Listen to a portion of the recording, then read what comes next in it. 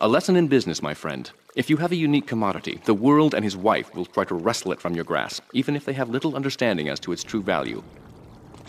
SWAT teams have cordoned off the area around my associate and the package. Get over there, pick up the van, and act as a decoy. Keep them busy, and he should make good his escape.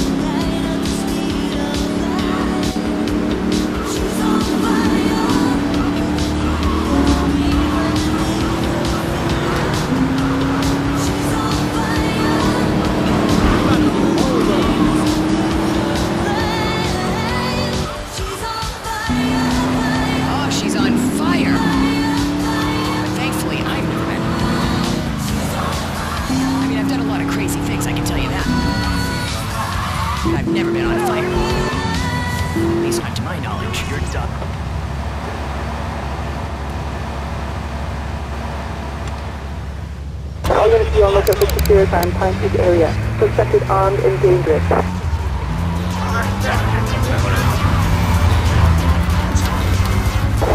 In a black van.